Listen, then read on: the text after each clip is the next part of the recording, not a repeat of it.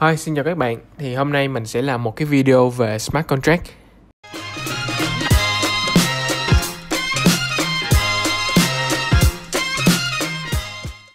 Smart contract được xem như là một trong những ứng dụng được sử dụng rộng rãi nhất của blockchain đến thời điểm hiện tại.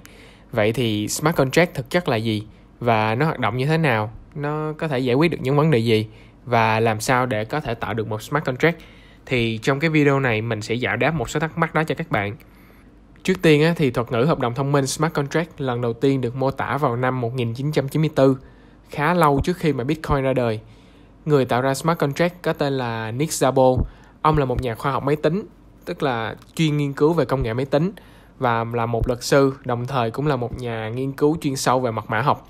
Do đó thì ông muốn ứng dụng cái công nghệ sổ cái phân tán để lưu trữ cái hợp đồng của mình. Và cái smart contract á, thì về cơ bản nó cũng giống như cái hợp đồng giấy mà mọi người thường thấy sự khác biệt duy nhất là hợp đồng thông minh thì hoàn toàn là sản phẩm điện tử.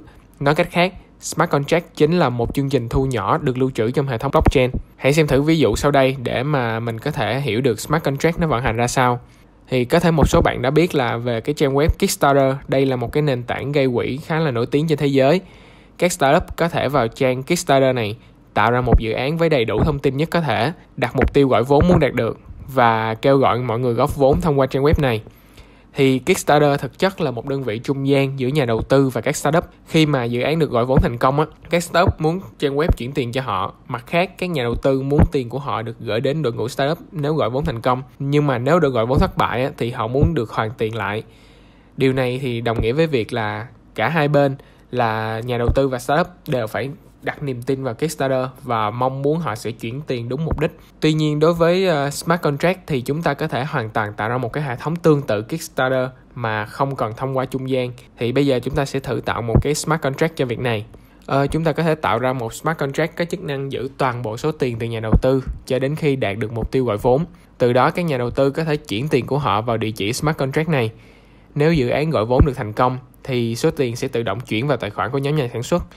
Tuy nhiên, nếu mà dự án gọi vốn không thành công thì số tiền trên sẽ được tự động hoàn trả lại cho các nhà đầu tư. Nghe rất là thú vị đúng không? Với cái kỹ thuật này á, thì không có ai có thể động vào số tiền đó trong quá trình gọi vốn hết. Tuy nhiên á, thì tại sao chúng ta phải tin vào cái smart contract này?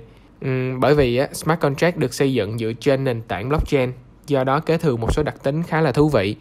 Thứ nhất, nó có đặc tính mà người ta gọi là immutable, tức là tính bất biến, và distributed, tức là cơ chế phân tán thì khi mà trở nên immutable, tức là một khi smart contract được tạo ra, thì nó không thể bị thay đổi bất cứ đặc tính gì trong đó. Vì vậy thì không một ai có thể hack vào smart contract và chỉnh sửa thuộc tính của nó được. Và cơ chế phân tán, tức là sự tạo thành hợp đồng thông minh của bạn, sẽ được xác thực bởi tất cả mọi người trong mạng lưới blockchain. Do đó, một cá nhân không thể bắt smart contract gửi tiền đi bởi vì mọi người khác sẽ phát hiện được điều đó và ngăn chặn lại ta có thể thấy là việc xâm phạm vào hợp đồng thông minh được xem như là việc không thể làm được. Uhm, xét về mặt ưu điểm á, thì hợp đồng thông minh có thể ứng dụng trong nhiều lĩnh vực khác nhau hầu như là mọi lĩnh vực chứ không chỉ gói gọn trong việc gọi vốn. Nó còn được ứng dụng trong uh, tiền điện tử ví dụ như là blockchain của ethereum. Smart contract được ứng dụng để tạo ra game lệnh chuyển tiền trong này. Trong uh, logistics còn, còn gọi là vận chuyển hàng hóa uh, ngoài ra thì ngân hàng có thể dùng smart contract để cho vay hoặc tạo ra các giao dịch tự động trong bất động sản thì người mua có thể an tâm mua tài sản thông qua smart contract để tránh bị nhà thầu lừa đảo hoặc là tình trạng đem con bỏ chợ. Ờ, trong lĩnh vực y tế sẽ là một trong những lĩnh vực mà áp dụng mạnh mẽ blockchain và smart contract. Mình sẽ có một video nói rõ hơn về cái ý này.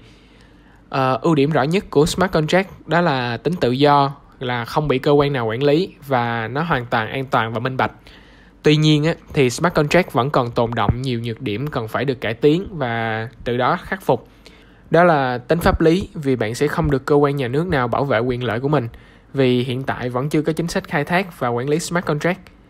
À, sau đó đó là chi phí triển khai khá là lớn vì bạn sẽ phải trả cho cái cơ sở hạ tầng nè, máy tính và phải thuê được lập trình viên giỏi để tạo ra cái smart contract và vận hành nó. Vâng và hy vọng video này sẽ giúp cho các bạn có thêm nhiều điều thú vị về smart contract nói riêng và thế giới tiền điện tử nói chung. Nếu uh, có đóng góp vui lòng comment bên dưới để cùng nhau thảo luận nha. Cảm ơn các bạn và chúc các bạn thành công.